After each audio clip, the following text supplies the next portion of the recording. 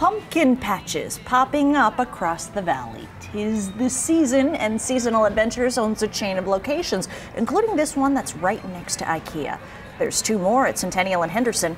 Families have been flocking after it opened on Friday. There's pumpkins to peruse, a petting zoo, and some inflatable fun. The manager at the patch tells us it's already ahead of schedule for sales this year after a record 2020. This is the patch's last year in the IKEA parking lot. It'll move nearby next year.